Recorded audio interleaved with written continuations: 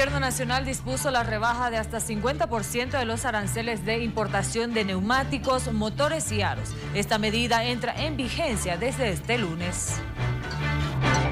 El Nacional emitió el Decreto Supremo 5189 que modifica por dos años el gravamen arancelario para la importación de neumáticos, motores y ruedas. El objetivo de esta medida es reducir los costos de importación de neumáticos, motores y otros elementos esenciales tanto para el servicio de transporte público como para el privado. El Gobierno Nacional asumió esta medida en el marco de la Ley General de Aduanas y el Código Tributario Boliviano que facultan al órgano ejecutivo a establecer mediante un decreto la alicuota del gravamen arancelario aplicable en la importación de mercancías y cuando correspondan los derechos de compensación y los derechos anti-dumping. Asimismo, con el propósito de coadyuvar el sector de comercio exterior en el pago de sus tributos aduaneros, este decreto supremo abre la posibilidad de la presentación de póliza de seguro a primer requerimiento como garantía en el pago de tributos diferidos.